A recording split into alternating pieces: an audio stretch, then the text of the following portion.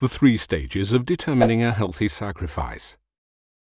First, we look for indicators of good health before the slaughter can take place. The animal must not be emaciated. The body of the animal must bear no wound, abscesses, or external parasites.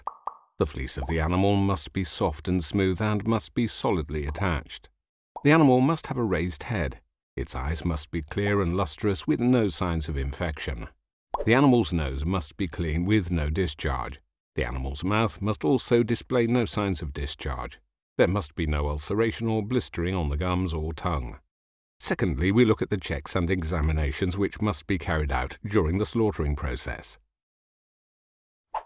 In the slaughterhouse, the sacrifice will be received and examined by a specialist team. The team will have the training required to make sure of the following that there is no jaundice or yellow fever, that the internal organs are in good condition. This means normal colour and textures with no vesicles, cysts, spots or worms. Finally, we look at the measures which must be taken following the slaughter to ensure that the meat is stored correctly ahead of the sacrifice. Do not delay transporting the meat or leave it unrefrigerated for more than two hours. Ensure that chopped meat is divided into clean bags with an airtight seal.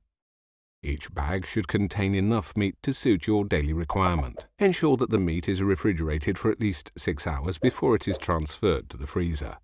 This will allow for a more gradual freezing process and secure a higher quality of meat. May Allah accept all your good deeds.